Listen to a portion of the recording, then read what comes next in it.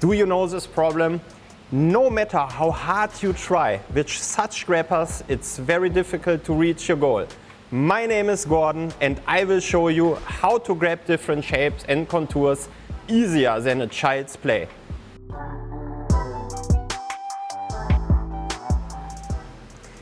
So many different contours and shapes on this DIN rail.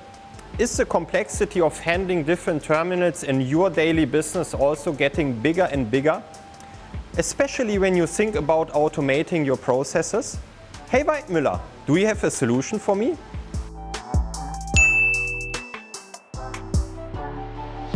We have the solution for you. Our rail assembler is equipped with a unique gripper that can grab components easily and won't let you down.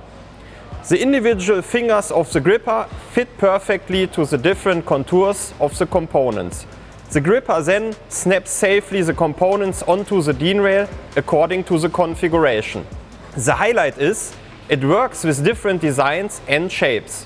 The rail assembler is a reliable friend who will take you into the direction of automating your processes, including all complexity in your daily business. Thanks for watching and see you in the next video.